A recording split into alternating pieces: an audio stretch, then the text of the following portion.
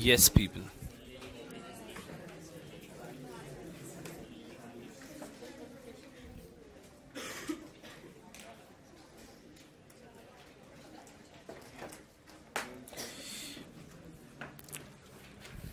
चलिए आ रहा हूँ। अब शुरू करते हैं एकदम बेहतरीन तरीके से। आज ये बहुत ही ज़बरदस्त कंसेप्ट से शुरू करेंगे हम। होता क्या था? एकदम ध्यान से। स्टोरी चल रही है। होता क्या था? यहाँ पर आ जाएँगे, सब लोग तो अच्छा लगेगा मुझे बहुत। हमारी कंपनी में तीन कैटेगरी ऑफ़ पीपल थे। जैसे कि हम लोग अभी तक इस चैप्टर में आए, तीन कैटेगरी के लोग हमारी कंपनी में आ चुके हैं। Equity share capital preference share capital और डिबेंचर होल्डर्स डिबेंचर्स तो इक्विटी शेयर होल्डर्स हो गए प्रेफरेंस शेयर होल्डर हो गए और डिबेंचर होल्डर्स हो गए। ये तीन लोग हमारी कंपनी में थे। देखो, एकदम ध्यान से यहाँ पे ये है आपकी कंपनी इसका नाम दिया है मैंने good luck limited. Good luck limited नाम से आपकी कंपनी है। इस कंपनी ने जब स्टार्ट किया बिज़नेस तीन लोगों से पैसा लिया है। तीन टाइप के लोगों से पैसा लिया है। सबसे पहले हमारे इक्विटी शेयर होल्डर एकदम हमारी कंपनी में सबसे ज़्यादा इन्हीं की चलती है। इन्हीं के पास हमारी कंपनी की डिसीज़न मेकिंग भी है। एक्चुअली राइट right किसके हाथ में? इक्विटी शेयर होल्डर कंपनी के decision voting power equity share holder फिर आए एक हमारी कंपनी के मैं डिबेंचर होल्डर्स की बात कर रहा हूँ अभी फ़िलहाल डिबेंचर होल्डर्स डिबेंचर होल्डर मतलब वो लोग जिनको हमारी कंपनी से कोई भी फ़र्क नहीं पड़ता। इन लोगों को हमारी कंपनी से कोई भी फ़र्क नहीं पड़ता। ये है डिबेंचर होल्डर इन्होंने अपना पैसा दिया है, इन्होंने सिंपली हमारी कंपनी को दिया है। ध कैसे लिखते हैं? ध।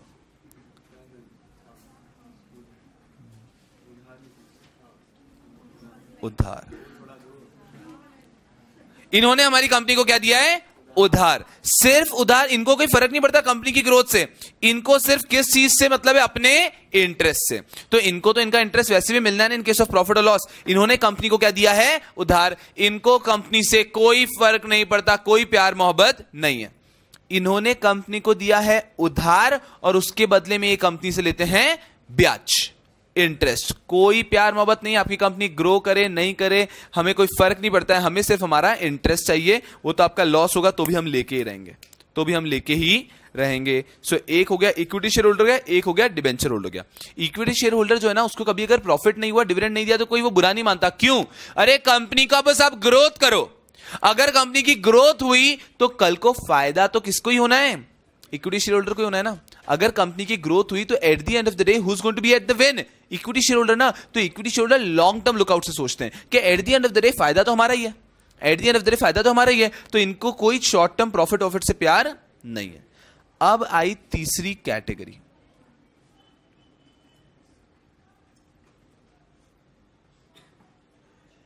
that is preference share holder अब यार थोड़ा सा कंफ्यूजन का तकलीफ़ है यार। अब मेरी बात को ध्यान समझेंगे। थोड़ी सी तकलीफ़ है। क्यों? तकलीफ़ की बात इसलिए प्रेफरेंस शेयर होल्डर को समझ नहीं आ रहा कि वो ओनर जैसी बात करे या फिर वो किस तरह से बात करे। ध्यान से समझेंगे। डिबेंचर होल्डर है ना, उसके हाथ में कुछ है। समझ में आ रहा है क्या? कटोरा। कटोरा क्यों? उसको फ़र्क नहीं पड़ता। आपको जो करना है करो। मुझे बस मेरे कटोरे में क्या दे देना? इंटरेस्ट दे देना। Debenture holder doesn't give a damn कि आपकी कंपनी में क्या चल रहा है वोटिंग राइट वोटिंग राइट तो उसको मिलता ही नहीं है। अरे, उसको तो शेयर होल्डर मीटिंग पे भी नहीं बुलाते हैं, हम हमारे डिसीज़न ले लेते हैं, लेकिन उनको सिर्फ़ उनके कटोरे में क्या दे दिया जाता है? इंटरेस्ट और उनको उसी से मतलब है। आपकी कंपनी का ग्रोथ हो रहा है, नहीं हो रहा है कंपनी का हिसाब फाइनेंशियल स्टेटमेंट कुछ नहीं चाहिए उनको। उनको क्या चाहिए? सिर्फ़ मात्र केवल इंटरेस्ट और वहीं इक्विटी शेयर होल्डर है। उनको प्रॉफिट से इतना प्यार नहीं है। प्रॉफिट हुआ तो ठीक। अरे कभी कभी तो कुछ कंपनीज़ पता है क्या करती है? बहुत सारा प्रॉफिट होता है, फिर भी डिविडेंड डिक्लेयर नहीं करती है। बहुत सारा प्रॉफिट होता है, फिर भी डिविडेंड डिक्लेयर नहीं करती। सर, क्यों ऐसा क्यों? फिर इक्विटी शेयर होल्डर लड़ते नहीं है क्या? अरे, नहीं लड़ते, उनको कोई फ़र्क नहीं पड़ता, क्योंकि अगर कंपनी ने प्रॉफिट किया है, उस प्रॉफिट से अगर डिविडेंड नहीं भी डिक्लेयर किया तो इसका मतलब प्रॉफिट कंपनी यूज़ कर रही है। तो कंपनी यूज़ करेगी कंपनी ग्रो करेगी एट दी एंड तो हमारा ही पैसा हमारी तो शेयर की वैल्यू बढ़ेगी। तो अगर कंपनी कभी डिविडेंड पे नहीं भी करती है तो भी इक्विटी शेयर होल्डर को प्रॉब्लम नहीं है। क्यों? अरे, कंपनी के शेयर की प्राइस बढ़ती रहती है ना धीरे धीरे तो अगर मैंने शेयर लिया था सौ रुपए में, और वो शेयर आज हो गया तीन सौ रुपए का तो मेरा तो प्रॉफिट वैसे भी हो गया ना। डिविडेंड मिले, नहीं मिले। तो इक्विटी शेयर होल्डर को डिविडेंड से कोई प्यार नहीं तो उनको कोई कटोरी लेके बैठे नहीं वो। डिविडेंड दिया तो ठीक, नहीं दिया तो भी ठीक। कंपनी तो हमारी ही है। जिस दिन कंपनी बंद करेंगे, पूरा पैसा तो हम ही समेट के लेके जाएँगे ना। आपने अगर अपने पास भी रख के रखा तो एट दी एंड तो सारा पैसा इक्विटी शेयर होल्डर ही लेके जाएँगे। तो इक्विटी शेयर होल्डर को कोई फ़र्क नहीं पड़ता आपकी कंपनी के अंदर डिविडेंड पे हो रहा है या नहीं हो रहा है। उनको तो चाहिए कि ज़्यादा से ज़्यादा प्रॉफिट हो बस। ठीक है? और एक दूसरे हो गए डिबेंचर होल्डर उनको कोई तकलीफ़ नहीं है। उनको कैसा है भाई? सिर्फ़ मेरा दे दो इंटरेस्ट आर यू अंडरस्टैंडिंग कैसा पिक्चर चल रहा है? तो सर डिबेंचर होल्डर की पिक्चर भी क्लियर हुई इक्विटी शेयर होल्डर की पिक्चर भी क्लियर हुई। Equity share holder gets voting right the stick denotes what power voting right equity share holder gets voting right but equity share holder doesn't care much about dividend मिला तो भी ठीक है, नहीं तो कोई फ़र्क नहीं पड़ता बिकॉज़ इवेंचुअली कंपनी ग्रो होनी चाहिए। और वहीं डिबेंचर होल्डर कंपनी की ग्रोथ से कोई फ़र्क नहीं है, कोई वोटिंग राइट नहीं, सिर्फ़ चाहिए अपना इंटरेस्ट अरे तकलीफ़ की बात वो नहीं है, तकलीफ़ की बात है, अभी मैं हूँ प्रेफरेंस शेयर होल्डर मैं इधर देखता हूँ, मुझे दिखता है डिबेंचर होल्डर मैं इसकी तरह कटोरा लेके खड़ा हो जाऊँ, या फिर मुझे इधर देखता है equity shareholder with the dignity with the respect मैं इसकी तरह खड़ा रहूँ। मैं कंपनी की ग्रोथ की कोशिश करूँ। प्रेफरेंस होल्डर को समझ ही नहीं आता मैं क्या करूँ? प्रेफरेंस होल्डर इज़ कंफ्यूज कि should preference holder think about try for growth of the company or not? You tell me. Yes or no? या सर कंफ्यूजिंग है सर ये तो। क्यों? हाँ यार ग्रोथ के लिए फ़ायदा करे परे पर समझो कंपनी को प्रॉफिट हुआ। कंपनी को प्रॉफिट हुआ प्रेफरेंस डिविडेंड मिल गया। कंपनी को बहुत प्रॉफिट हुआ फिर भी प्रेफरेंस डिविडेंड ही मिलेगा ना। कंपनी को बहुत बहुत बहुत प्रॉफिट हुआ अरे फिर भी मिलेगा तो क्या? प्रेफरेंस डिविडेंड ही मिलेगा ना। आर यू अंडरस्टैंडिंग तो प्रेफरेंस शेयर होल्डर को भी एक पॉइंट की बात तो फ़र्क ही नहीं पड़ता है ना कंपनी को कितना प्रॉफिट हो रहा है आपको समझ रहे मेरी बात या नहीं? एकदम। Profit profit profit profit year one profit year two profit year three profit year one में हमारी कंपनी का बहुत ही बेइंतहा प्रॉफिट हुआ है। एकदम। ईयर वन में हमारा प्रॉफिट हुआ है पच्चीस हज़ार रुपए का। ईयर टू में हमारा प्रॉफिट हुआ है दो लाख पचास हज़ार रुपए का। और ईयर थ्री में हमारा प्रॉफिट हुआ है पच्चीस लाख रुपए का। एकदम आराम से। आई एम सो प्रिडिक्टेबल यार। चलो तो ये चीज़ चल रहा है। पच्चीस हज़ार, दो लाख पचास हज़ार, पच्चीस लाख रुपए। हमारी कंपनी की बैलेंस शीट कुछ ऐसी दिख रही है। एकदम। इक्विटी शेयर कैपिटल सबसे पहले हमें दिख रहे हैं पाँच लाख रुपए के। प्रेफरेंस शेयर कैपिटल भी है पाँच लाख रुपए के जिसपे है twelve percent preference share capital पाँच लाख रुपए के। नेक्स्ट आपको दिख रहे हैं डिबेंचर्स, पाँच लाख रुपए के। टेन परसेंट डिबेंचर्स समझ में आ रहा है? बैलेंस शीट कैसी है? एकदम ध्यान से सब लोग स्ट्रेट बैठेंगे। एकदम आराम से। यहाँ पे हम लोग बात कर रहे हैं। Equity share capital five lakh rupees की है। Preference share capital five lakh rupees की डिबेंचर्स फाइव लाख रुपीज़ के। डिबेंचर्स कैसे हैं? टेन परसेंट डिवेंचर से प्रेफरेंस शेयर कैपिटल कैसी है? Twelve percent preference share capital ठीक है सर तीनों केस में कैलकुलेट करना है कितना पैसा देना है। सबसे पहले क्या पे करूँ? सबसे पहले आउटसाइडर का पेमेंट होता है ना तो डिबेंचर का इंटरेस्ट पेमेंट होगा। डिबेंचर का इंटरेस्ट कितना है? Ten percent of five lakh मैं वापस कह रहा हूँ, मैं फोड़ देगा अगर किसी ने कभी ये परसेंटेज प्रॉफिट पे लगाया तो। कोई भी परसेंटेज प्रॉफिट पे नहीं लगता है परसेंटेज हमेशा लगेगा कैपिटल पे। ये जो परसेंटेज है, ये हमेशा लगेगा कैपिटल पे। समझ में आ रहा है? क्लियर तो सबसे पहले डिबेंचर का परसेंटेज है ten percent ten percent of what five lakh तो डिबेंचर को इंटरेस्ट कितना देना है? फिफ्टी थाउज़ेंड एकदम ध्यान से देखेंगे। फिफ्टी थाउज़ेंड का इंटरेस्ट देना है। अरे बट फ़र्स्ट ईयर में तो प्रॉफिट कितना हुआ है? ट्वेंटी कैसे देंगे? देना, छोड़ देंगे, नहीं दे क्या? देना पड़ेगा। डिबेंचर होल्डर यहाँ पे कटोरा लेके खड़ा है, उसको फ़र्क नहीं पड़ता। प्रॉफिट हुआ है लॉस हुआ, साहब, उसको उसका इंटरेस्ट चाहिए। तो भले ही आपका पच्चीस हज़ार का प्रॉफिट हुआ है, आपको डिबेंचर इंटरेस्ट देना होगा पचास हज़ार का। And this will end up your company having a net loss of twenty five thousand your company's financial statement will show a net loss of twenty five thousand चलो ठीक है। उसके बाद में प्रेफरेंस डिविडेंड देंगे क्या? लॉस ऑफ़ प्रेफरेंस डिविडेंड देंगे क्या? ये ट्वेल्व परसेंट फाइव लैख का ये जो भी कैलकुलेट होगा देना है क्या? नहीं, नहीं देना है। क्यों? Dividend preference dividend is paid only in case of profit तो यहाँ पे प्रेफरेंस डिविडेंड नहीं दिया। कुछ भी नहीं देना है। तो हमारी कंपनी का नेट लॉस हो गया ट्वेंटी फाइव थाउज़ेंड ही इक्विटी शेयर होल्डर को कोई डिविडेंड मिलेगा क्या? मैंडेटरी तो नहीं है, कुछ डिविडेंड नहीं मिलेगा, कैसे लॉस में कंपनी चलो बात खत्म हो गई। मतलब जब आपकी कंपनी का लॉस हो रहा था, आपके साथ क्या डिबेंचर होल्डर्स खड़े रहे? नहीं, वो अपना पैसा लेके चले गए, आपकी कंपनी को और लॉस में लेके चले गए। लेकिन प्रेफरेंस शेयर होल्डर आपके साथ खड़े रहे कि कोई बात नहीं साहब प्रॉफिट नहीं हुआ है ना, हमें पैसा मत दो। प्रॉफिट नहीं हुआ है ना तो हमें भी मत दो, चलेगा preference share holders were there with you आपकी कंपनी को अगले साल प्रॉफिट हुआ ढाई लाख रुपए का। सबसे पहले इंटरेस्ट कितना पे करेंगे? डिबेंचर्स का ten percent same fifty thousand ही हो रहा है। ठीक है साहब फिफ्टी थाउज़ेंड का हमने पे कर दिया। हमारा प्रॉफिट कितना बच गया? दो लाख रुपए का प्रॉफिट बच गया। अब प्रेफरेंस शेयर होल्डर्स को क्या देना है? ट्वेल्व परसेंट का प्रेफरेंस डिविडेंड कितना डिविडेंड देना है प्रेफरेंस शेयर होल्डर को बताओ मुझको।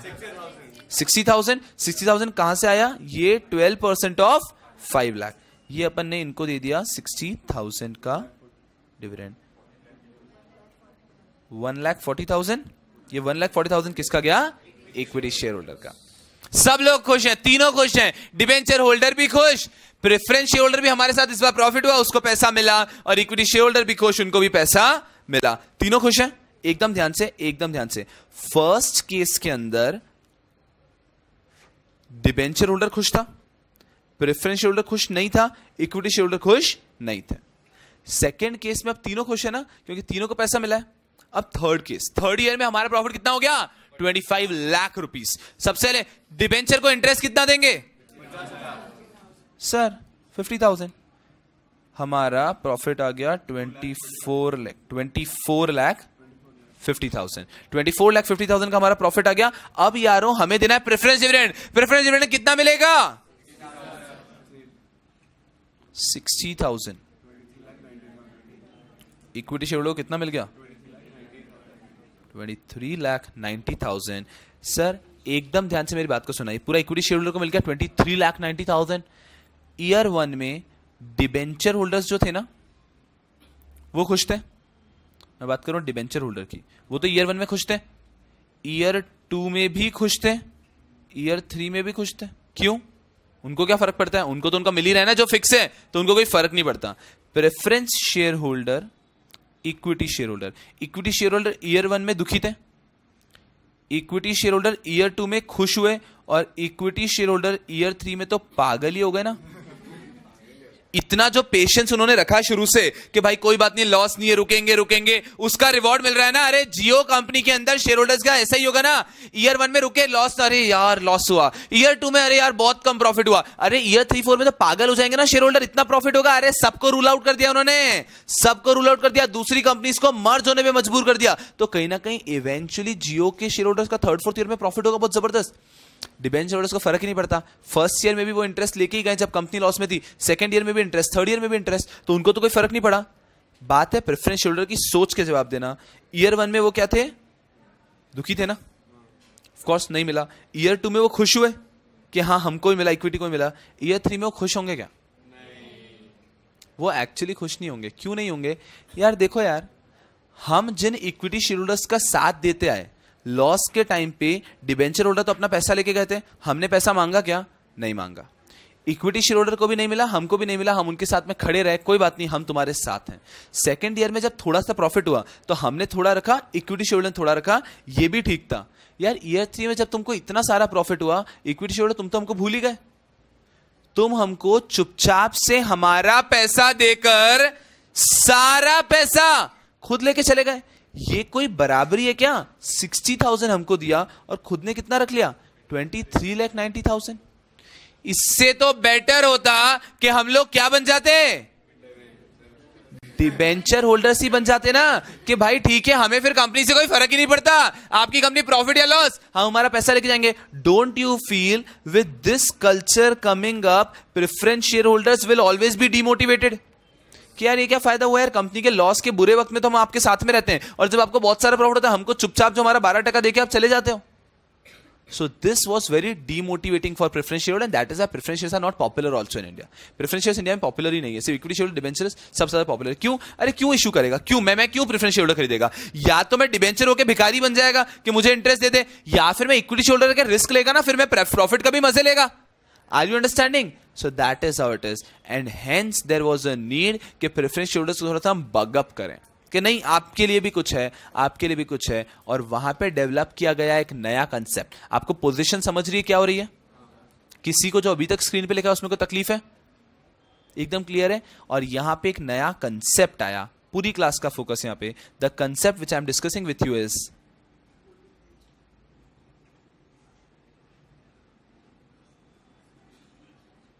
participating preference shares. एकदम ध्यान से। The concept which I am discussing with you is participating preference share sir what do you mean by participating preference shares इनके टर्म्स कुछ इस तरह से होते हैं, ध्यान से। पार्टिसिपेटिंग प्रेफरेंस शेयर्स के, मैं एग्जांपल ले रहा हूँ टर्म कैसे होते हैं? Example there is a participating preference share this is a participating preference share तो एक पार्टिसिपेटिंग प्रेफरेंस शेयर पे लिखा होता है, एकदम ध्यान से। सबसे पहले तो उसकी फेस वैल्यू लिखी होगी। हर एक शेयर पे उसकी फेस वैल्यू लिखी होती है। इसकी फेस वैल्यू मान लीजिए हंड्रेड फिर ये प्रेफरेंस शेयर है। तो इसका फिक्स रेट ऑफ़ डिविडेंड भी लिखा होगा। ठीक है? इसका फिक्स रेट ऑफ़ डिविडेंड है। इसका प्रेफरेंस डिविडेंड रेट है, मान लीजिए ट्वेल्व परसेंट अब मान, ध्यान से समझना, इसे कहा जाता है पार्टिसिपेटिंग प्रेफरेंशियस क्यों? इसके अंदर एक स्पेसिफिक स्पेशल क्लॉज होता है। उस क्लॉज पे फोकस करेंगे सब लोग। उस क्लॉज में क्या लिखा होता है? That participating preferentials will get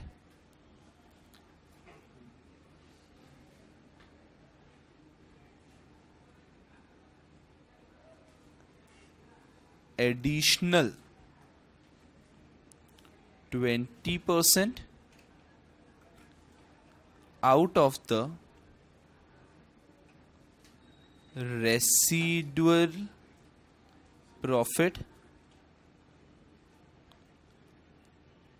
after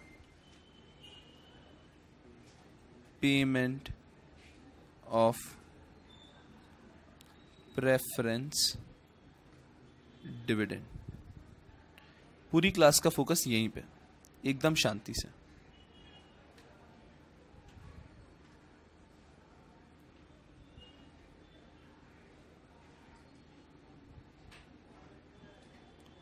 इस तरह का एक पार्टिसिपेटिंग प्रेफरेंस शेयर दिखता है आपको। ये पार्टिसिपेटिंग प्रेफरेंस शेयर आपको हाथ में शेयर सर्टिफिकेट दिखाया मैंने आपको कि ऐसा दिखेगा वो पार्टिसिपेटिंग प्रेफरेंस शेयर उसको देखेगा, लिखोगे उस पर ऊपर लिखा होगा पार्टिसिपेटिंग प्रेफरेंस शेयर उसके यहाँ लिखा होगा, उसकी फेस वैल्यू कितनी है? हंड्रेड सर फेस वैल्यू से क्या फ़र्क पड़ता है? अरे, इसी फेस वैल्यू का परसेंटेज तो आपको डिविडेंड के तौर पे मिलता है। आपने आज हंड्रेड रुपीज़ दिया है। इसका मतलब है आपको हर ईयर कितना डिविडेंड मिलेगा? ट्वेल्व रुपीज़ का. Dividend percentage is a percentage of the capital तो 12 परसेंट ऑफ़ हंड्रेड आपको मिलेगा। अब मैंने ऐसे 10 खरीदे तो मुझे 10 खरीदे थाउज़ेंड हो गया तो थाउज़ेंड का 12 परसेंट वन ट्वेंटी मिलेगा। उस तरह से फ़ंक्शन करेगा। एकदम सिंपल बाकी एक डिविडेंड पे बारह रुपए का इंटरेस्ट मिलेगा एवरी ईयर ये तो नॉर्मल हो जाता। लेकिन ये वाला तो कौन सा है? पार्टिसिपेटिंग सर पार्टिसिपेटिंग मतलब क्या? पार्टिसिपेटिंग मतलब that participating preference share will get an additional twenty percent out of the remaining profit after giving preference dividend मतलब हमारी कंपनी का प्रॉफिट इंटरेस्ट दे दिया। फिर नेट प्रॉफिट उसमें से प्रेफरेंस डिविडेंड दे दिया। फिर जो प्रॉफिट पूरा इक्विटी ले जाते थे ना, उसका भी 80 20 करेंगे। 80 देंगे इक्विटी को और 20 देंगे प्रेफरेंस शेयर होल्डर को। आपको नहीं लगता अब प्रेफरेंस शेयर होल्डर शायद ज़्यादा खुश होंगे? और शायद अब वो प्रार्थना भी करेंगे कि कंपनी और ग्रो हो। क्यों? पहले तो वो नहीं करते थे, क्यों? अरे, पहले बस कंपनी का थोड़ा बहुत प्रॉफिट हो तो चलेगा। हमको मिल जाए बस। बाकी कंपनी ग्रो हो, नहीं हो, हमें फ़र्क नहीं पड़ता। बट अब अगर हमने पार्टिसिपेटिंग प्रेफरेंशियल इशू कर दिए don't you feel the company would be more inclined? The company would be more motivated towards all of its shareholders. तो यहाँ पे कहीं ना कहीं अगर ये आपने दे दिया पार्टिसिपेटिंग प्रेफरेंशियल अब कैसे होगा? ध्यान से समझना। इस थर्ड केस को लेते हैं हमने। हमने जो अभी थर्ड केस देखा था, ये थर्ड केस अगर यही थर्ड केस होता पार्टिसिपेटिंग प्रेफरेंशियल जो हमने एग्ज़ाम्पल लिया वो वाला तो उसमें क्या होता? सबसे पहले तो आपने पे कर दिया है इंटरेस्ट पचास हज़ार का फिर आपने पे कर दिया प्रेफरेंस डिविडेंड सिक्सटी थाउज़ेंड का। अब ये जो एंड में बचा ना twenty three lakh ninety thousand this would be divided between equity and preference किस रेशियो में? एटी परसेंट इनका ट्वेंटी परसेंट इनका। सो so, यहाँ पे ये जो twenty three lakh ninety thousand है। इसका two lakh thirty nine thousand into two कितना आ रहा है exactly four lakh seventy eight thousand. Four lakh seventy eight thousand. ये मिलेगा additional dividend preference share holder को। और इक्विटी शेयर होल्डर कितना बच गया? इसका ट्वेंटी थ्री नाइनटी का एटी परसेंट कितना हो रहा है? बचा हुआ। नाइनटीन लाख आ रहा है।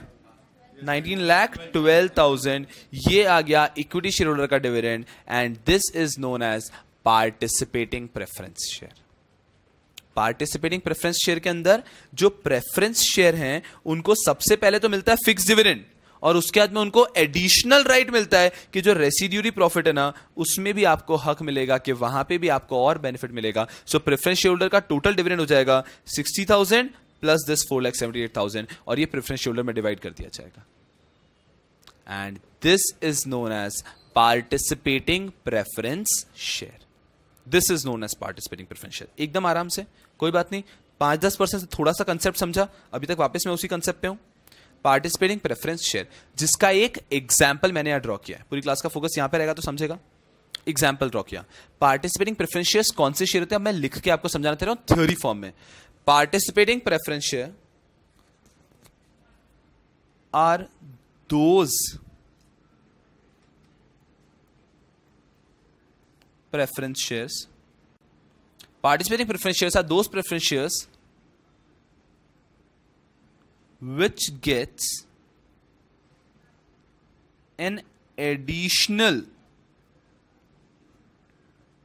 right to participate.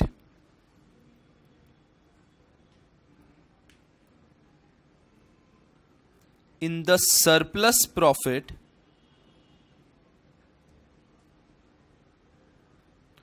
after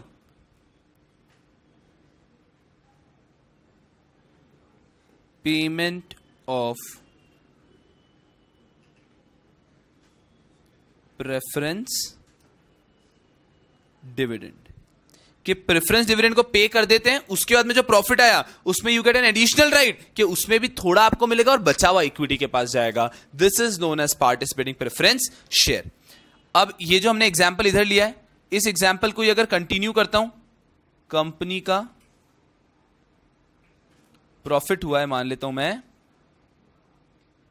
25 lakh rupees company का प्रॉफिट हुआ है 25 लाख रुपीस इसमें सबसे पहले मैं लेस करूँगा डिबेंचर का इंटरेस्ट डिबेंचर इंटरेस्ट मान लीजिए है दो लाख रुपए। एकदम एग्ज़ाम्पल लेते हुए जा रहे हैं।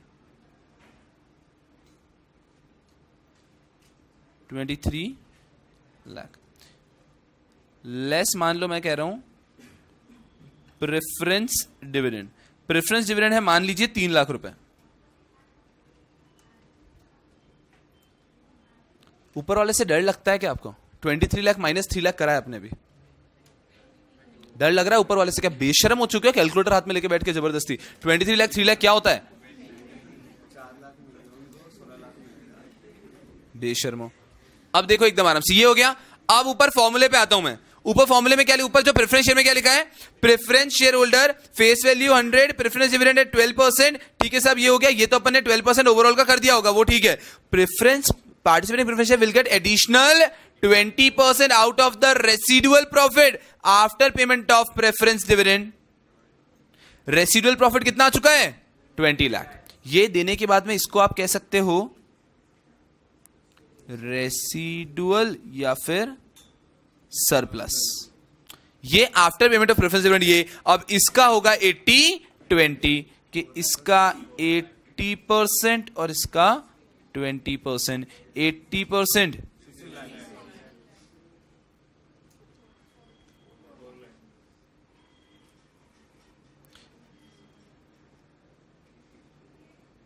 ये जाएगा इक्विटी के पास, ये जाएगा प्रेफरेंस के पास। तो यहाँ पे अगर हम बात करें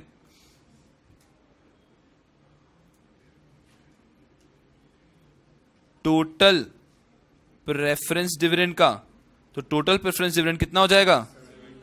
Four lakh plus three lakh that is equal to seven lakh now this type of preference share is known as participating preference share Are you understanding?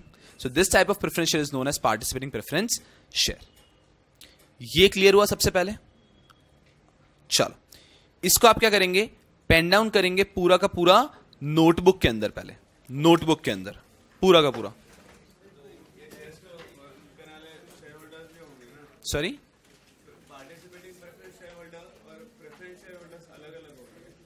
Preference share holder में ही कैटेगरी हो जाती है पार्टिसिपेटिंग प्रेफरेंस शेयर्स ऐसा। जब आज company shares preference shares issue कर रही है तो कंपनी चाहे तो नॉर्मल प्रेफरेंस शेयर्स इशू करेगी। कंपनी चाहे तो इशू कर सकती है पार्टिसिपेटिंग प्रेफरेंस शेयर्स अगर वो नॉर्मल प्रेफरेंस शेयर्स है तो सिर्फ़ डिविडेंड लेके जाएँगे। अगर वो पार्टिसिपेटिंग प्रेफरेंस शेयर्स है तो डिविडेंड के साथ में एडिशनल डिविडेंड भी लेके जाएँगे। नहीं, कुछ भी नहीं है। कंपनी बस ये कंपनी के नॉर्मल प्रेफरेंस इशू करती है तो कोई लेते ही नहीं है। कोई खरीद ही नहीं रहा है। इसलिए कंपनी पार्टिसिपेटिंग इशू कर देती है। तो शायद लोग खरीद लें। ये लुकआउट है। यस प्लीज़ सर नहीं एटी ट्वेंटी मैंने एग्ज़ाम्पल दिया है। कोई नाइनटी टेन कर सकता है, कोई सेवेंटी फाइव ट्वेंटी फाइव कर सकता है। ये सिर्फ़ एक एग्ज़ाम्पल है जो मैंने दिया आपको समझाने के लिए।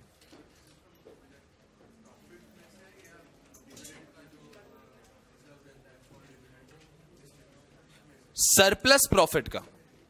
प्रेफरेंस देने के बाद में जो पैसा बचा, उसमें से एक शेयर इनको दिया जाएगा।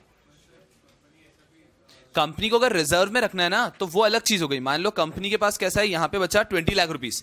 कंपनी को ट्वेंटी लाख में से ट्वेंटी परसेंट फोर लाख तो प्रेफरेंस शेयर को देना है। अब सिक्सटीन लाख इक्विटी का बचा।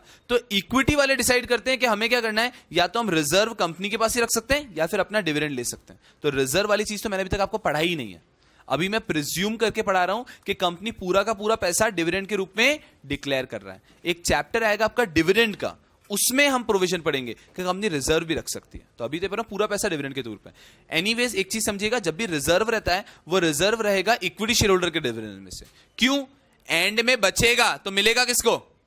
इक्विटी को ना। तो प्रेफरेंस होल्डर रिज़र्व रखेंगे क्यों? समझ में आ रहा है क्या कह रहा हूँ? कंपनी डिविडेंड मैं वही कह रहा हूँ प्रेफरेंस डिविडेंड मैंडेटरी होता है। अगर कंपनी को प्रॉफिट हुआ ना तो प्रेफरेंस डिविडेंड देना तो मैंडेटरी है। इक्विटी शेयर होल्डर का डिविडेंड इस ऑप्शनल कंपनी के पास देना ही नहीं देना तो ये सारी चीज़ें डिविडेंड के चैप्टर में आएगी। अभी तो हम शेयर कैपिटल पे हैं। तो मैंडेटरी है, बिल्कुल। आप समझो प्रेफरेंस डिविडेंड मैंडेटरी है। तो सरप्लस तक आना मैंडेटरी हो गया। सरप्लस तक आ गए, उसका ट्वेंटी परसेंट प्रेफरेंस शेयर को देना मैंडेटरी है। अभी बच्चे एट्टी का आपको जो करना है करो। वो आप उस चैप्टर में पढ़ेंगे डिविडेंड के। ऐसा। ये लेजिबल है कि नहीं है यारों? एक काम करो। एग्ज़ाम्पल ही तो खास लिखना है। ये भी लिखना है पार्टिसिपेंट प्रेफरेंशियस क्या होता है? और फिर एग्ज़ाम्पल ही तो खास लिखना है, जिसके लिए मैं नोटबुक पे लाया हूँ। Yes please sir voting right कभी भी प्रेफरेंस होल्डर को नहीं मिलते हैं। ऐसा आप अभी मान के चलो। प्रेफरेंस होल्डर का वोटिंग राइट नहीं होते मैं वही कह रहा हूँ, वो आएगा। तो अभी आप मान के चलो कि प्रेफरेंस होल्डर को वोटिंग राइट नहीं मिलता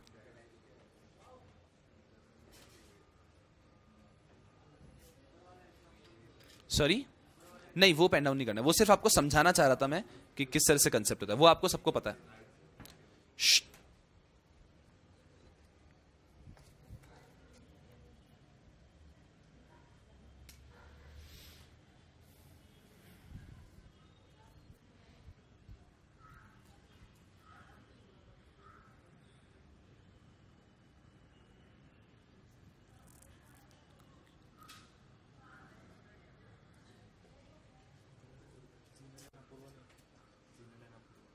Sorry?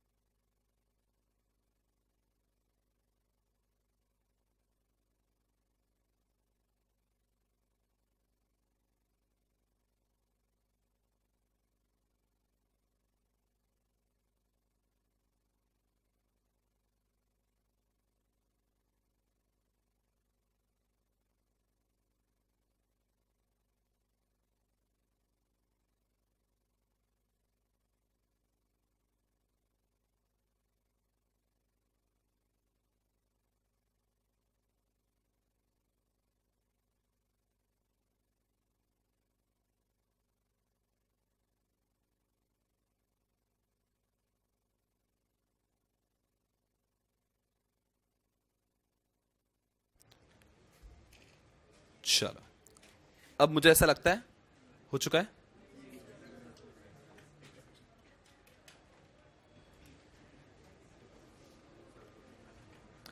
क्या करते हो आप? क्या करते क्या? मैं सही कह रहा हूँ। एक और मैंने आपको दिखाना आपको मैं वहाँ बिठाऊँगा और संदेश आपको मैं वहाँ बिठाऊँगा। स्कूल बना देंगे क्लासरूम ऐसा कोने कोने में बैठेंगे सब लोग। आप दोनों बहुत ज़्यादा बातें करते हो और आपके पीछे मासूम लोग बैठते हैं, सब डिस्टर्ब होते हैं।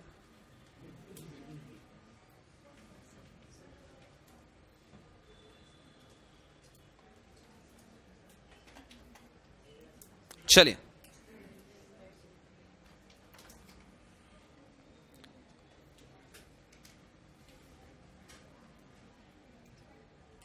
सबसे पहले आपने पार्टिसिपेटिंग प्रेफरेंस शेयर क्या होता है लिखा होगा और उसके बाद में एग्जांपल लिखा होगा ना? Of course that make sense topic अगर किसी व्यक्ति ने टॉपिक की हेडिंग दी एग्जांपल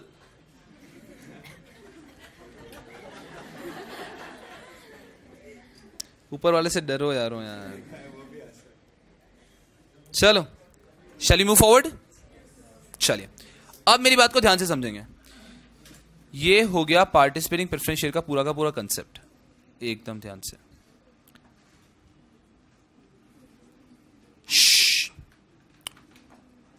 अब असली टॉपिक आ रहा है तो पूरी क्लास का फोकस यहाँ पे अब आ रहा है एकदम खतरनाक टॉपिक जिसका छूट गया, मैम क्लास के बाद में लिखोगे, ज़्यादा अच्छा लगेगा ना। आराम से बाद में करना कोई गुस्से की बात नहीं, एकदम आराम से।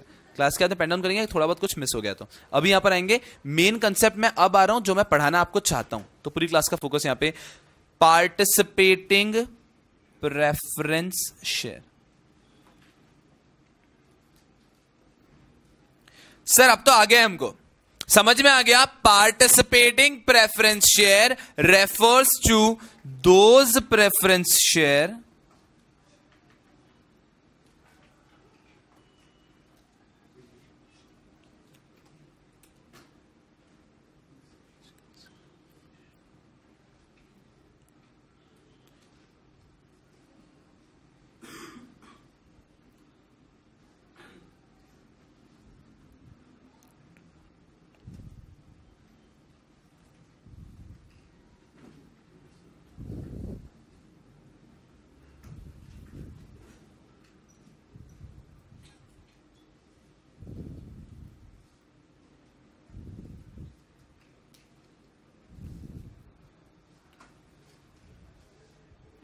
do you all agree with it जो लिखा है, उसमें किसी को कोई आपत्ति नहीं है, ये चीज़ दिमाग में बैठ रही है। Participating preference share refers to those preference share which gets an additional right to participate in the surplus profit after payment of preference dividend मतलब जो रेसिड्यूरी प्रॉफिट में जिसको राइट right मिला, वो होता है पार्टिसिपेटिंग प्रेफरेंस शेयर जैसे ही मैंने एक कंसेप्ट पढ़ाया, यहाँ से एक व्यक्ति आया। एकदम ध्यान से। यहाँ से एक व्यक्ति आया, इस व्यक्ति का कहना था, सर, ये जो पार्टिसिपेटिंग प्रेफरेंस शेयर आपने पढ़ा है ना concept that a person a share holder will get right in the additional surplus profit sir, ये तो अब तो इक्विटी शेयर बन गए। सर, ये तो अब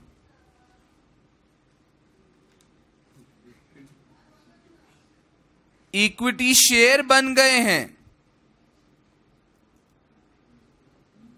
तो मैंने कहा इक्विटी शेयर कैसे बन गए? ये कैसे इक्विटी शेयर बन गए? ये तो प्रेफरेंस शेयर ये ना, सिर्फ़ उनको सरप्लस में राइट दिया है। ये बोला, नहीं नहीं नहीं, जिसको भी फाइनल सरप्लस मिलता है, वो क्या होता है? ओनर वो होता है इक्विटी शेयर होल्डर तो इनको फाइनल सरप्लस मिल रहा है ना ट्वेंटी परसेंट का? अब जो ओवरऑल कंपनी को प्रॉफिट होगा, आप क्या पढ़ाते हो हमको? आप ये पढ़ाते हो equity share holder like owners equity share holder like owners why do you say like owner वो कंपनी के ओनर तो होते नहीं है. उनको सिर्फ़ ये पूरा फाइनल प्रॉफिट मिलता है। इसीलिए तो उनको ओनर बोलते हैं हम कि जो भी प्रॉफिट होगा वो उनको मिलेगा। वही प्रार्थना करते हैं कंपनी का प्रॉफिट हो। अरे अब तो प्रार्थना करने की लाइन में दो लोग और आ गए ना। अब ये प्रेफरेंस शोल्डर भी आके खड़े हो गए, क्योंकि वो लोग भी तो चाहते हैं कि क्या हो? कंपनी को प्रॉफिट हो, क्योंकि कंपनी का रेसिड्यूल प्रॉफिट अब इनको भी तो मिल रहा है। तो अब तो ये भी हो गए हमारे इक्विटी शेयर होल्डर ठीक है साहब? तो अब इनको भी इक्विटी शेयर होल्डर ही बुलाएँगे. तो तभी मैंने इनको समझाने की बहुत कोशिश की कि नहीं नहीं नहीं, ये है तो प्रेफरेंस शेयर होल्डर ही. सिर्फ़ इनको थोड़ा सा एडिशनल राइट मिला है एकदम ध्यान से. यहाँ पे एक व्यक्ति ने बोला कि अब ये लोग क्या बन गए? इक्विटी शेयर होल्डर यहाँ पे दूसरा व्यक्ति आया. बोले, क्या बेवकूफ़ हो क्या आप? उसने बोला, अरे ये है तो कौन? ये ये ये प्रेफरेंस शेयर होल्डर ही है, इनको ध्यान से देखो। ये प्रेफरेंस शेयर होल्डर ही है, सिर्फ़, यार इतने डिफ़िकल्ट वर्ड क्यों आते हैं? सिर्फ़ एडिशनल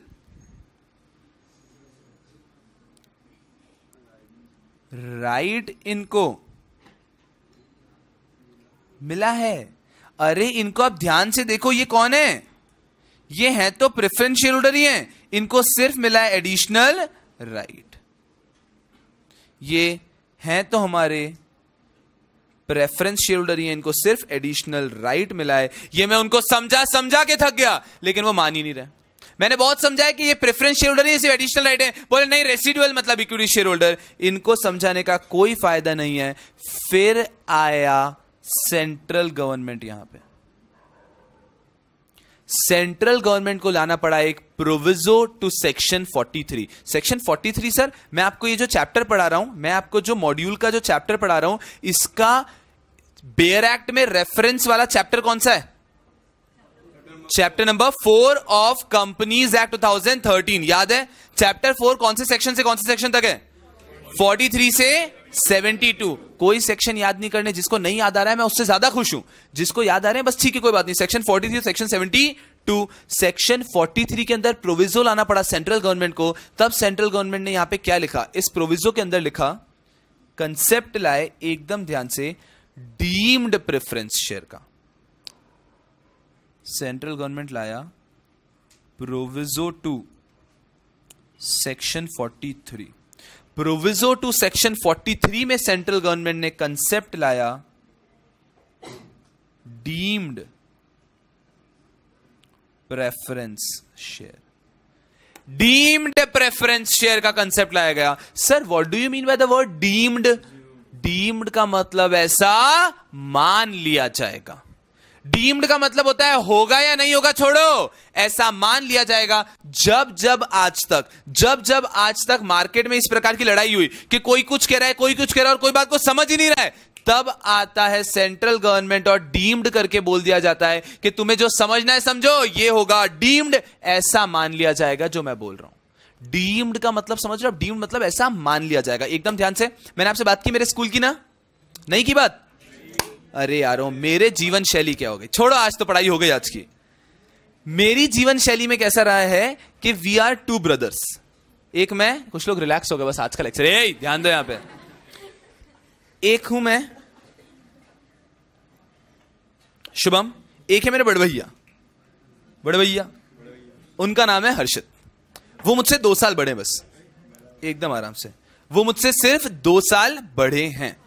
टू इयर्स का डिफरेंस है हमने। तो मान लो जब मैं आता हूँ टेंथ में, वो आते हैं ट्वेल्थ में, और I am from Rajasthan Rajasthan में स्कूलिंग सिस्टम कैसा चलता है मतलब ट्वेल्थ तक स्कूल है। कोई डिफरेंस नहीं है। महाराष्ट्र में अलग ही माहौल बना रखा है इलेवन ट्वेल्थ का। कि इलेवन ट्वेल्थ को कॉलेज होता पता नहीं क्यों, हमारे यहाँ कुछ नहीं। इलेवन ट्वेल्थ स्कूल ही है, बस वो नेकर पहनना बंद हो जाता है। बाकी सेम है स्कूल है सेम आपको यूनिफॉर्म में जाना है सेम रूल है, कोई तकलीफ़ नहीं है। तो आपका इलेवन ट्वेल्थ तो अपना क्या स्कूल में अलग ही रुबाब? क्यों? बड़े भैया है ना?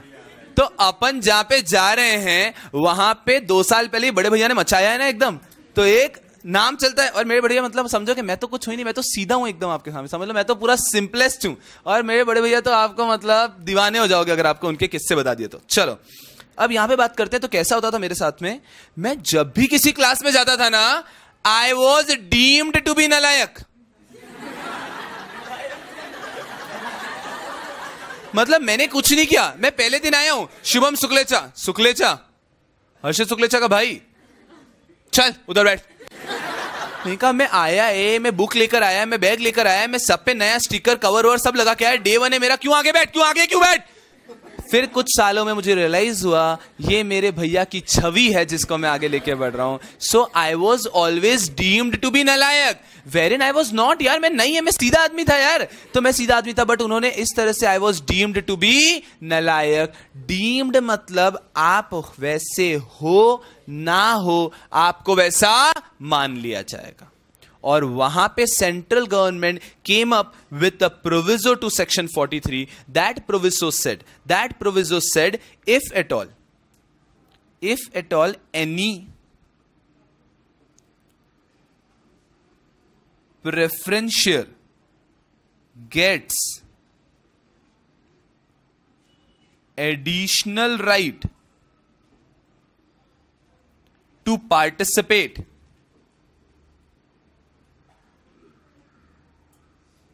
that preference share gets an additional right to participate in the surplus profit.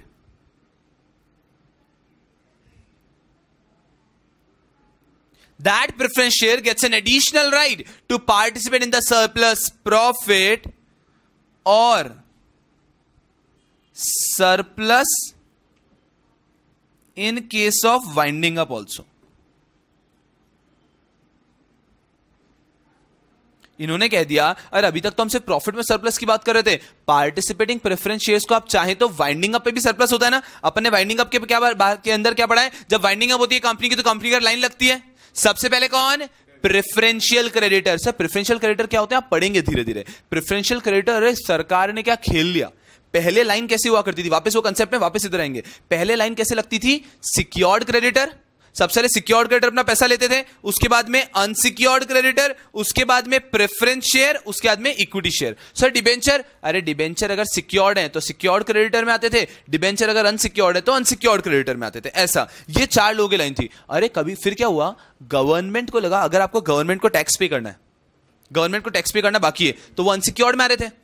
है ना? तो गवर्नमेंट एक नया सेक्शन ले, अरे बेशर्मी, एक सेक्शन लेकर आए by the name of preferential creditor, कि ये कुछ कैटेगरी ऑफ़ लोगों को प्रेफरेंशियल क्रेडिटर बनाया जाएगा और उनको सबसे पहले खड़ा किया जाएगा। और इसमें सबसे पहला पॉइंट लिख दिया any taxes due to government अब जब वाइंडिंग अप होता है तो सबसे पहले आगे आगे खड़ा होगा गवर्नमेंट कि पहले हमारा जो उधार है वो दे दो। और उसके बाद में आएगा सिक्योर्ड उसके बाद में आएगा अनसिक्योर्ड ये लॉ है आज का। और बुरा ना लगे किसी को कि तो गवर्नमेंट क्या कर रही है? तो उन्होंने उस प्रेफरेंशियल क्रेडिटर में एक और पॉइंट ऐड किया कि हमारे कंपनी के जो वर्कर है ना वर्कर का पैसा भी प्रेफरेंशियल क्रेडिटर ताकि सेल्फिश मोटिव नहीं लगना चाहिए। तो वहाँ पे प्रेफरेंशियल क्रेडिटर एक लिस्ट आएगी आप अकाउंट्स के अंदर भी पढ़ेंगे ये लिक्विडेशन के चैप्टर में। प्रेफरेंशियल क्रेडिटर की एक लिस्ट आएगी कि ये होते हैं हमारे प्रेफरेंशियल क्रेडिटर सबसे पहले वो लोग पैसा लेंगे। फिर सिक्योर्ड फिर अनसिक्योर्ड फिर प्रेफरेंस शेयर होल्डर और उसके बाद में equity share holder that is how people function ठीक है? अब यहाँ पे जनरली क्या होता है? सबका तो फिक्स पेमेंट है प्रेफरेंस का भी फिक्स होता है और इक्विटी को बचा हुआ सब मिल जाता है. लेकिन अगर कंपनी बनाना इशू करना चाहती है पार्टिसिपेटिंग प्रेफरेंस शेयर तो वहाँ पे क्या होगा? ये वाइंडिंग अप पे पैसा मिल रहा है, मिल रहा है, मिल रहा है. प्रेफरेंस शेयर का जितना कैपिटल का पैसा है, वो तो मिल जाएगा. उसके बाद में जितना भी पैसा बचा जो जनरली इक्विटी शेयर होल्डर ले जाते थे अब वो भी डिवाइड होगा इन द गिवन रेशियो से एग्ज़ाम्पल 80 20 20 प्रेफरेंस को और 80 इक्विटी को। तो participating preference share every year तो प्रॉफिट के अंदर सरप्लस में पार्टिसिपेट करेंगे और वाइंडिंग अप में भी वो सरप्लस में पार्टिसिपेट करेंगे। एंड हेंस यहाँ पे क्या कह दिया एकदम आराम से any preference share which gets additional right to participate in the surplus profit और surplus in case of winding up इसके आगे क्या लिखा ध्यान से?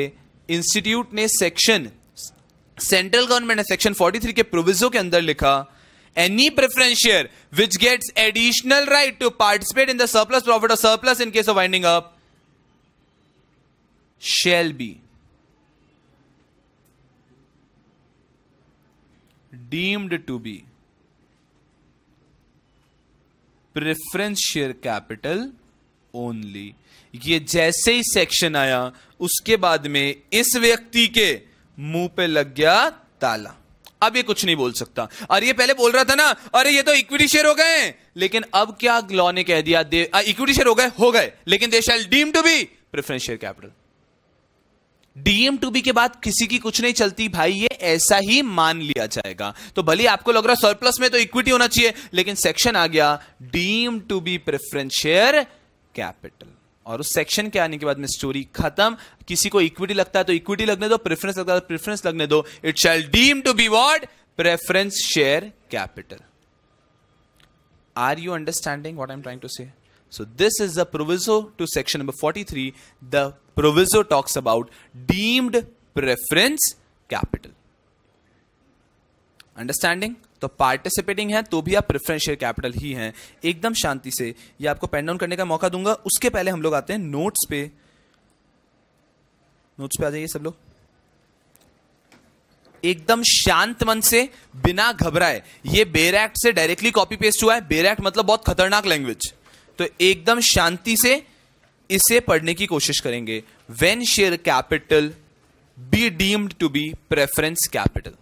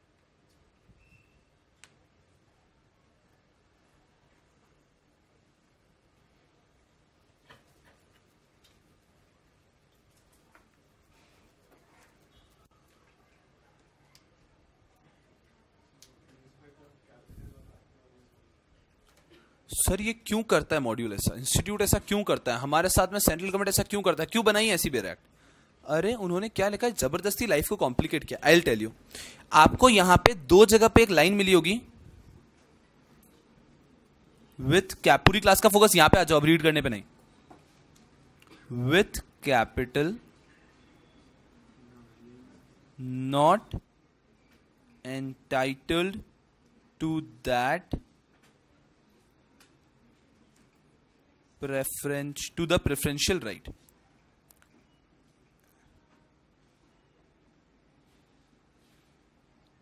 with capital not entitled to preferential right ये जहाँ पे भी लिखा है ना उसका मतलब क्या है पता है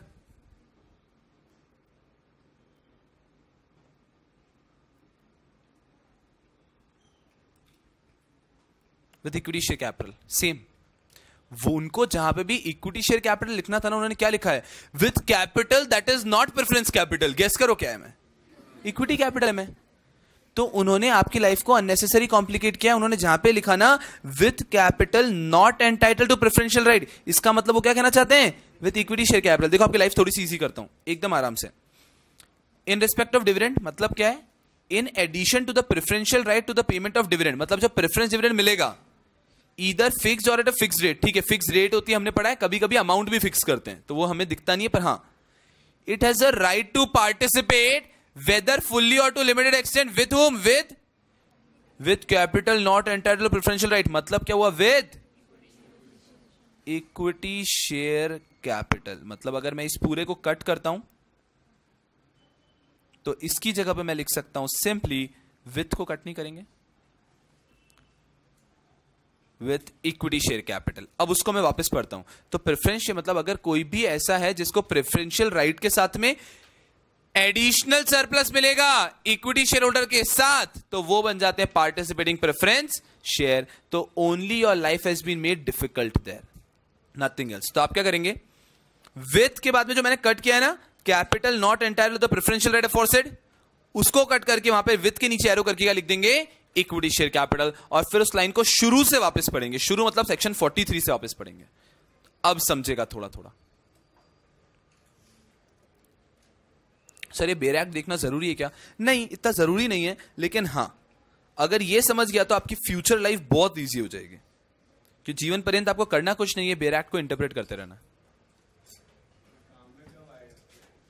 ये काम में कब आएगा? ये काम में एक तो आपका एग्ज़ाम में क्वेश्चन को इंटरप्रेट करने में आपको थोड़ा सी कंफर्ट लेवल रहेगा, मेरा मानना है। इतना डिफ़िकल्ट लैंग्वेज अगर आप इंटरप्रेट कर पा रहे हैं तो हमारी मॉड्यूल की लैंग्वेज तो आपको ईजी लगेगी वन और second of course when you're practicing when you're practicing तो आपका ऐसा कभी नहीं होता कि क्लाइंट आपके पास आता है तो जो आपने लॉस पढ़े, उन्हीं में से कोई लॉ का उसको काम हो। कभी कभी कोई थर्ड लॉ भी हो सकता है काम में। तो तब आपके पास कोई ऑप्शन नहीं है, आपको उस लॉ की बेरैक लेके और आपको देखना पड़ेगा कि ये क्या एप्लीकेबिलिटी इसके ऊपर। And that is people come for to a C S और लॉयर ना, क्योंकि आप इंटरप्रेट कर सकते हैं और वो इंटरप्रेट नहीं कर सकते। अब ये दे दो किसी बीकॉम ग्रेजुएट को। सवाल ही पैदा नहीं होता कि वो पार्टिसिपेटिंग प्रेफरेंस शेयर क्या होता है, ये समझ भी ले। वो समझ भी ले क्या होता है। सवाल ही पैदा नहीं होता है। तो that is the difference we are better interpretation that is why people come to us sir bare act easy लिख दें तो यार। बेरेक्ट ईजी लिख दें तो कोई आपके पास जीवन में आएगा ही नहीं ना। कोई आपके जीवन में आएगा ही नहीं। सो so, हमारी इंपॉर्टेंस तब तक है जब तक वो काम डिफ़िकल्ट है। जैसे ही वो काम इजी हो जैसे कि बात करते हैं रिटर्न फाइलिंग अब रिटर्न फाइलिंग सीए पहले करते थे क्योंकि डिफ़िकल्ट था। अब इजी हो गया है। अब इजी हो गया तो हर आदमी करता है रिटर्न फाइलिंग पाँच सौ पाँच सौ रुपए में। कोई भी कर लेता है। बीकॉम ग्रेजुएट बैठ के रिटर्न फ़ाइल करवा रहे हैं आपके। क्यों? अब वो ईजी हो गया। तो जब तक काम डिफ़िकल्ट है तब तक उसकी इज़्ज़त है यार। तो एकदम शांति से। चलो या। यस प्लीज़ सर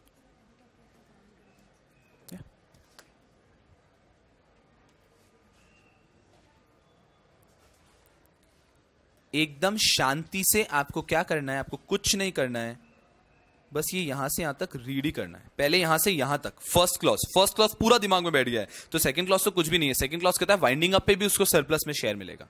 बस।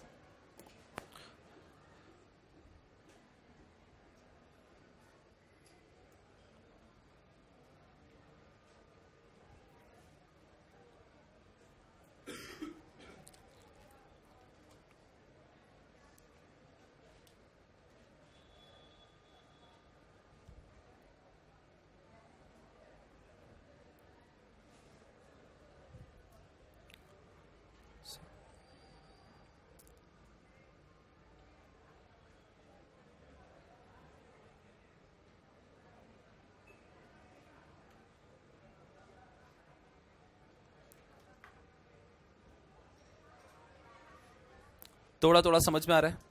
एकदम आराम से।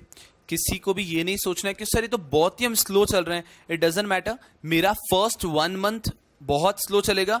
जितने चैप्टर्स फ़र्स्ट वन मंथ में हम कवर करेंगे, उसके तीन गुना चैप्टर आपके नेक्स्ट वन मंथ में हो जाएँगे। इसका मतलब ये नहीं है कि मैं भगाता हूँ उसके बाद में। भगाने की ज़रूरत ही नहीं पड़ती। फ़र्स्ट मंथ में बहुत स्लो जाते हैं तो बहुत स्लो जाके क्या आपकी अंडरस्टैंडिंग डेवलप हो गई एक बार। आपका इंटरेस्ट आ गया, आपका इंटरप्रिटेशन सही आया तो बाद में आपको खुद को इंटरप्रेट करने में एक मिनट लगेगा। So initially just focus on interpretation you might feel कि आज तो पूरा सारा लेक्चर में पढ़ा क्या हमने? बस ये। बट यस ये की बात नहीं इसका जो इंटरप्रिटेशन अगर आपको डेवलप हुआ तो ये। बाकी मुझे पार्टिसिपेटिंग पढ़ाने में पाँच मिनट लगता और उसके नीचे लिख देता कि पार्टिसिपेटिंग होंगे तो भी वो क्या होंगे? प्रेफरेंशियल कैपिटल खत्म हो जाता। बट फिर वो इंटरप्रिटेशन आपको कभी जीवन में समझ ही नहीं आता। अभी भी आपको ये 50 60 परसेंट समझ में आ रहा है। So what you need to do मैं आपको जो पेन डाउन करा रहा हूँ, आपको अब नोट्स के लेफ़्ट हैंड साइड नोट्स में जो आपकी जगह है इसके लेफ़्ट हैंड साइड पे वो लिखना है नोट्स में आपको, और फिर घर जाने के बाद आज वापस आपको ये पूरा घर पे रीड करने की कोशिश करनी है। बिल्कुल ठीक है? चलो just pen it down on the left hand side ये पूरी कहानी। इसके अंदर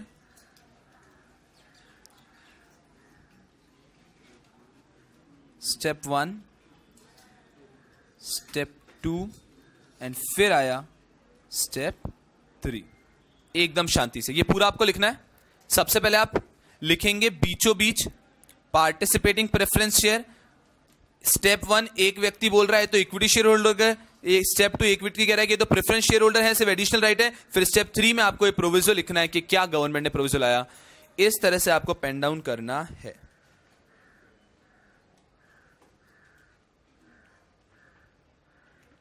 जो स्टेप टू है ना उसके लिए तो एक बार समझ यहाँ देखो आपको पेन डाउन कैसे करना है, समझ गया एक बार? स्टेप टू के लिए मैं थोड़ा सा एक बार जूम इन कर रहा हूँ स्टेप टू आप थोड़ी देर बाद लिख देंगे, उसके लिए जगह रख लेना वहाँ पे, ताकि आप ये कम से कम प्रॉपरली लिख सकें।